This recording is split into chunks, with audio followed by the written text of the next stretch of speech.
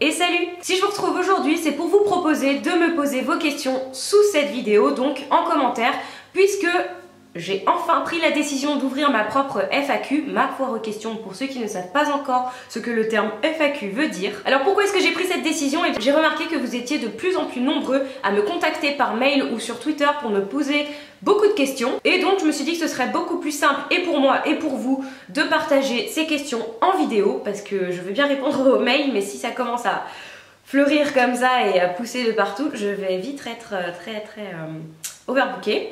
Donc du coup, plutôt que de répondre plusieurs fois à la même question, je vous propose de me poser vos questions là-dessous et j'y répondrai le plus vite possible.